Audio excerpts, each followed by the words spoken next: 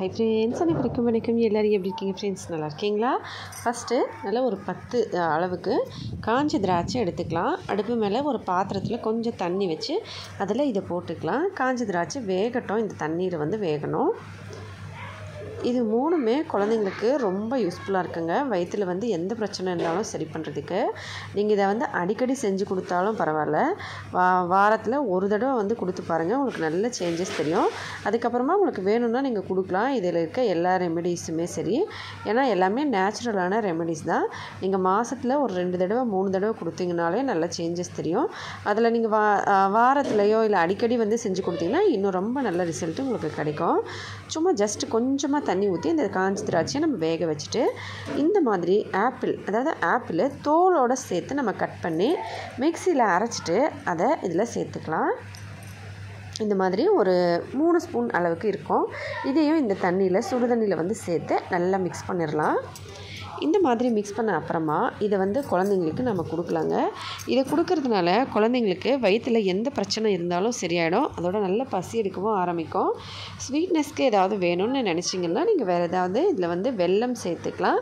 ஆனால் முடிஞ்ச வரைக்கும் எதுவும் சேர்க்கலனாலும் நல்லாயிருக்கும். ஏன்னா இதில் வந்து நம்ம காஞ்சிர திராட்சையும் சேர்த்துருக்கோம். அதோட கூடவே ஆப்பிளும் சேர்த்துருக்கோம்.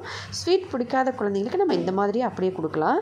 குழந்தைங்களுக்கு வந்து ஸ்வீட் இருந்தால் தான் சாப்பிடுவாங்க அப்படின்னா ஜஸ்ட் கொஞ்சமாக வெல்லமோ இல்லை கல்கண்டு பவுடரோ சேர்த்துக்கோங்க. சர்க்கரை சேர்க்க வேண்டாம். நீங்கள் இது ரெண்டுத்தில் ஏதாவது ஒன்று சேர்த்து இதை வந்து மிக்ஸ் பண்ணிக்கலாம். இப்போ இந்த மாதிரி நம்ம ஏற்கனவே அரைச்ச இந்த ஆப்பிளில் வந்து மிக்ஸ் பண்ணி நல்லா கொஞ்ச நேரம் வேக வச்சுக்கலாம். இது வந்து நீங்கள் ஆப்பிள் ஜூஸ் போடும்போது வடிகட்டுறீங்க இல்லைங்களா? அந்த மாதிரி வடிகட்டினாலுமே அந்த வடிகட்டினதை கூட நீங்கள் இதில் யூஸ் பண்ணிக்கலாம்.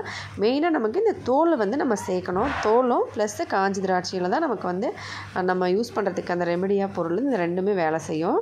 இப்போ இந்த மாதிரி நல்லா மிக்ஸ் பண்ணிவிட்டு சில்லுன்னு ஆன அப்புறமா குழந்தைங்களுக்கு இதை அப்படியே சாப்பிட வந்து கொடுக்கலாம். அப்படியே சாப்பிட மாட்டாங்கன்னா நீங்கள் இனிப்பு வந்து சேர்த்துக்கலாம். இது வந்து நல்ல பெரிய பசங்களுக்கு ஒரு அஞ்சு ஆறு வயசு பசங்க அப்படியே சாப்பிடுவாங்க. கடிச்சுன்றவங்களுக்கு இந்த மாதிரி கொடுக்கலாம். இல்லை இல்லை குட்டி குழந்தைங்க அப்படின்னா இதை வந்து இன்னொரு தடவை மிக்சியில் போட்டு நல்லா அரைச்சி சுத்தமாக வந்து நம்ம முழுசாக வந்து நல்லா ஃபைனாக அரைச்சிட்டு அதுக்கப்புறமா அதை வடிகட்டிட்டு ஜஸ்ட்டு ஜூஸ் மாதிரி நீங்கள் இந்த குழந்தைங்களுக்கு கொடுக்கலாம். இதை வந்து வாரத்தில் ஒரு மூணு நாள் கொடுங்க. உங்களுக்கு நல்ல சேஞ்சஸ் தெரியும். அதுக்கப்புறம் நீங்கள் கொடுக்க வேண்டியதில்லை. அடுத்த மாதமே கொடுத்தாலும் பரவாயில்ல. இல்லை உங்களுக்கு அடிக்கடி வந்து ஆப்பிள் வந்து ஜூஸ் போடுறீங்க அப்படின்னா அந்த மாதிரி டைமில் வந்து இதை வந்து செஞ்சு கொடுங்க. குழந்தைங்களுக்கு இந்த டேஸ்ட்டும் கொஞ்சம் டிஃப்ரெண்ட்டாக இருக்கிறதுனால கண்டிப்பாக விரும்பி சாப்பிடுவாங்க. காஞ்சி திராட்சையை நீங்கள் இந்த மாதிரி செஞ்சு கொடுக்கலாம். அதுக்கப்புறமா அடுப்பு மேலே ஒரு பாத்திரம் வச்சு அதில் நல்லா ஒரு கிளாஸ் அளவுக்கு தண்ணி சேர்த்துக்கலாம். இதில் கிட்டத்தட்ட ஒரு பத்து துளசி இலை ஒரு அஞ்சு புதினா இலை இருக்கு இல்லைங்களா? அது அதுக்கு ஒரு சின்ன துண்டு இஞ்சி கொஞ்சமாக வெல்லம் அதுக்கப்புறம் ஒரு வெத்தலை வந்து சின்ன சைஸ் வெத்தலையில் பாதி. இதை எல்லாத்தையும் நம்ம அப்படியே வந்து இந்த தண்ணியில் போட்டு நல்லா கொதிக்க வச்சுக்கலாம். இது மாதிரி நான் ஏற்கனவே எல்லாமே வாஷ் பண்ணி தான் வச்சுருந்தேன்.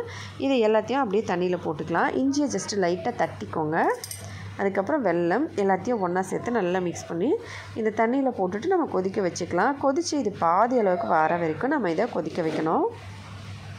இப்போ இது கொதிக்கட்டும். நம்ம அப்படியே வந்து கொஞ்ச நேரம் கழித்து இதை ஓப்பன் பண்ணி பார்க்கலாம். புதினா இலையை வந்து நம்ம இதில் பயன்படுத்தியிருக்கோம். ப்ளஸ் வே இதில் நம்ம வெற்றிலை புதினா இலை துளசி இது எல்லாமே வந்து நமக்கு இயற்கையான மருத்துவத்துக்கு பயன்படுற மெயினான ஒரு இன்க்ரீடியன்ட்ஸ்னு சொல்லலாம். ப்ளஸ் இஞ்சியும் சேர்த்துருக்கோம். நம்ம வெல்லம் வந்து கொஞ்சமாக இனிப்புக்காக சேர்த்துருக்கோம். முடிஞ்ச வரைக்கும் கம்மியாகவே சேருங்க. இப்போ இதை நல்லா கொதிக்க வச்சு பாதி அளவுக்கான அப்புறமா வடிகட்டி குழந்தைங்களுக்கு எப்போல்லாம் வந்து ஈவினிங் டைமில் இல்லைன்னா காலையில் ஒரு பத்து பதினோரு மணி பன்னெண்டு மணி டைமில் இதை வந்து கொஞ்சம் தண்ணி குடிக்க எப்போ கேட்குறாங்களோ அப்போ வந்து தண்ணி குடிக்கிற மாதிரி இதை கொடுங்க. கொஞ்சம் வெது வெதுப்பாக இருந்தால் நல்லாயிருக்கும் ஒரு வேளை குழந்தைங்க வெது வெதுப்பாக இருந்தால் குடிக்கல அப்படின்னா நீங்கள் அப்படியே நார்மலாக சில்லுன்னு பண்ணிட்டு கூட குடிக்கலாம். இதை வந்து ஒரு மூணு நாள் அதே மாதிரி தான். காலையில் இல்லைன்னா ஈவினிங் அந்த மாதிரி மூணு நாள் கொடுங்க. நல்ல சேஞ்சஸ் தெரியும். அதுக்கப்புறம் தேவைப்பட்டால் நீங்கள் அடுத்த மாதம் இதே போல் ட்ரை பண்ணலாம். நேச்சுரலான சைடு எஃபெக்ட்ஸு இல்லை. கண்டிப்பாக நமக்கு நேச்சுரலான பொருட்கள் எல்லாம் இந்த மாதிரி சூப்பராக வேலை செய்யும். அதாவது நமக்கு பர்மனெண்ட்டாக வேலை செய்யும். இதுவே நம்ம மெடிசன் சாப்பிட்டா அந்த டைமுக்கு நல்லாயிருக்கும் மறுபடியும் நம்ம வந்து யூஸ் பண்ண வேண்டியிருக்கும். அதனால் நம்ம வந்து நேச்சுரலான இந்த மாதிரி ரெமெடிஸ்லாம் நம்ம ட்ரை பண்ணலாம். இப்போ இதை வடிகட்டிட்டு இந்த மாதிரி எடுத்திருக்கேன் பாருங்கள் ஒரு கப் போல்.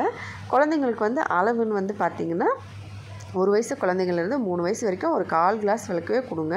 மூணு வயசுலேருந்து அஞ்சு வயசு வரைக்கும் ஒரு அரை கிளாஸ் இந்த மாதிரி அளவு வந்து இன்க்ரீஸோ டிக்ரீஸோ நம்ம பண்ணிக்கலாம். ஆனால் இதில் கொஞ்சம் எக்ஸ்ட்ரா இருந்தால் எந்த பிரச்சனையும் வராது. ஏன்னா நம்ம பரவாயில்ல. நேச்சுரலான இன்க்ரீடியன்ஸ் இல்லைங்களா? அதனால் இந்த மாதிரி கொஞ்சம் லைட்டாக வந்து டீ குடிக்கிற மாதிரி குழந்தைங்களும் அப்படி விளையாட்டை காட்டி நம்ம கொடுத்தோம்னா அவங்களும் குடிச்சிருவாங்க. நம்ம டீ குடிக்கும் போது அவங்களுக்கு கொடுத்தோம்னா அவ்வளோதான் இது டேஸ்ட்டும் வந்து பார்த்திங்கன்னா ரொம்ப நல்லாயிருக்கும். இப்போ அடுத்த ரெமெடிக்கு நம்ம இந்த மாதிரி ஒரு வெத்தலை எடுத்துக்கலாம். அதுக்கப்புறமா ஒரு இஞ்சி வந்து பார்த்திங்கன்னா கிட்டத்தட்ட இந்த மாதிரி. நல்ல ஒரு மூணு இன்ச் அளவுக்கு இருக்கும். அதை வந்து நல்லா தோல் வந்து முழுசாக சீவிடுங்க. அதுக்கப்புறம் சின்ன சின்னதாக கட் பண்ணிக்கோங்க. கழுவிட்டு தோல் சீவி கழுவிட்டு அதுக்கப்புறம் கட் பண்ணிக்கணும். இப்போ இதை அப்படியே நம்ம ஒரு மிக்ஸி ஜாரில் போட்டு ஃபைனாக அரைச்சி எடுத்துக்கலாம். கொஞ்சமாக தண்ணி சேர்த்துக்கலாம். இல்லைன்னா இதை அரைக்க முடியாது இல்லைங்களா? அதனால் ஏன்னா கொஞ்சமான இன்க்ரீடியன்ஸ்லேயே அதனால் ஜஸ்ட் லைட்டாக தண்ணி சேர்த்து இதை வந்து நம்ம அரைச்சிக்கலாம். இப்போல்லாம் குட்டி குட்டியாக ஒரு மாதிரி மிக்ஸி வருது. சொல்கிறாங்க ரெண்டு மூணு மிளகு போட்டாலும் அரைக்கணும்னு சொல்லிவிட்டு அந்த மாதிரி நீங்கள் வச்சுருக்கீங்கன்னா நீங்கள் டேரெக்டாக அப்படியே அரைச்சி கூட கொஞ்சம் தண்ணி சேர்க்க வேண்டிய தேவையில்லை. இல்லைனா இல்லைன்னா நம்ம இந்த மாதிரி நம்ம எப்போவும் யூஸ் பண்ணுற மாதிரி நான் வந்து இப்படி தான் கொஞ்சம் பெரிய ஜாரானால தண்ணி கொஞ்சம் ஊற்றி அதுக்கப்புறமா இதை இது- இந்த மாதிரி அரைச்சி வடிகட்டிடுவேன். இப்போ இதை அடுப்பு மேலே ஒரு சின்ன கரண்டியோ இல்லை பேனோ ஏதாவது ஒன்று வச்சுக்கோங்க. அதை வச்சுட்டு அதில் இதை ஊற்றிக்கணும் ஏன்னா இது வந்து இந்த அளவுக்கு நம்ம தண்ணி வந்து சேர்த்துருக்கோம் இல்லைங்களா? அதனால தான் ஒருவேளை நீங்கள் தண்ணி சேர்க்கலை அப்படின்னா ஜஸ்ட்டு சூடு பண்ணி கொஞ்சம் மிதமிதமாக இருக்கும்போது நம்ம காலையில் இல்லைன்னா ஈவினிங் டைமில் இதை குழந்தைங்களுக்கு அப்படியே ஒரு ஸ்பூன் போல் கொடுக்கலாம். இல்லை நீங்கள் வந்து இந்த மாதிரி தண்ணி ஊற்றி அரைச்சிருக்கீங்க அப்படின்னா ஜஸ்ட் லைட்டாக சூடு பண்ணுங்கள் இது ரெண்டு ஸ்பூன் இருக்குது அப்படின்னா ஒரு ஸ்பூன் வந்த அப்புறமா குழந்தைங்களுக்கு இதை நீங்கள் கொடுக்கலாம். ஒரு வயசுலேருந்து மூணு வயசு வரைக்கும் இந்த அளவு அதுக்கப்புறம் அஞ்சு வயசு வரைக்கும் இதை டபுள் அந்த மாதிரி அளவை இன்க்ரீஸ் பண்ணிக்கலாம். நீங்கள் வ ஏற்கனவே சொன்ன மாதிரி தான் ஒரு மூணு நாள் கொடுங்க. நல்ல சேஞ்சஸ் தெரியும். அதுக்கப்புறம் ஸ்டாப் பண்ணிவிடுங்க மறுபடியும் எப்போ தேவைப்படுதுன்னு நினைக்கிறீங்களோ அப்போ வந்து கொடுக்கலாம். நமக்கு கரெக்டாக தெரியும் இல்லைங்களா? நம்ம குழந்தைங்க வந்து எவ்வளோ சாப்பிடுவாங்க? எவ்வளோ வந்து அதிகமாக இருந்தால் சாப்பிட மாட்டாங்க? எவ்வளோ கரெக்டாக இருந்தால் அவங்க சாப்பிடுவாங்க? அந்த அளவுக்கு. இப்போ அவங்க சாப்பிட்லனாலும் நம்ம கரெக்டாக தெரிஞ்சிடும் இப்போ சாப்பிட மாட்டேன்றாங்க. அந்த மாதிரி சொல்லிட்டு நம்ம முடிஞ்ச வரைக்கும் டேஸ்டியாக என்ன தான் ட்ரை பண்ணாலுமே ஒரு சில டைமில் குழந்தைங்களுக்கு இந்த மாதிரி வயிற்று பிரச்சனைகள் இருந்தால் தான் அவங்க அவாய்ட் பண்ணுவாங்க. பசி இருக்கும். ஆனால் சாப்பிட முடியாது. இந்த மாதிரி சில ஒரு சில வயசு பிரச்சனைகளும் சரி பசி எடுக்கலை அப்படின்னாலுமே சரி நீங்கள் இந்த மூணுமே ட்ரை பண்ணலாம். ட்ரை பண்ணி பாருங்கள் மறக்காமல் அப்படியே கமெண்ட்ஸ்லேயும் சொல்லுங்கள் இதில் எந்த டிப்ஸ் உங்களுக்கு யூஸ்ஃபுல்லாக இருந்ததுன்னு சொல்லி அதோட எந்த இன்க்ரீடியன்ட் வந்து உங்களுக்கு ஈஸியாக கம்ஃபர்டபுளாக இருக்கோ அதையே நீங்கள் செய்யலாம். இதுதான் செய்யணும் அப்படின்னு சொல்லி கிடையாது. இப்போ இந்த மாதிரி நல்லா வந்து சூடாகி ஒரு ஸ்பூன் அளவுக்கு வந்த அப்புறமா இதை நம்ம கொடுக்கலாம். அவ்வளோதான் ரெடி ஆகிடுச்சு வீடியோ பிடிச்சிருந்தா மறக்காமல் லைக் பண்ணி ஷேர் பண்ணி சப்ஸ்கிரைப் பண்ணுங்கள் ஃப்ரெண்ட்ஸ் நம்ம சேனலுக்கு ப்ளீஸ் ஃப்ரெண்ட்ஸ் சப்போர்ட் பண்ணுங்கள் உங்களோட ஹெல்ப்பு ரொம்ப ரொம்ப முக்கியம். அடுத்த வீடியோவில் பார்க்கலாம். ஹெல்த்தியாக சாப்பிட்டு சந்தோஷமாகவும் சேஃபாகவும் பத்திரமா வருங்க. நன்றி வணக்கம்.